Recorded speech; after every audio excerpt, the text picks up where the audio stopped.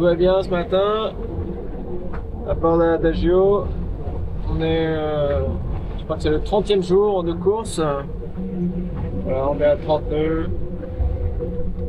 C'est une mer pas encore très bien euh, organisée, mais mais ça avance quand même.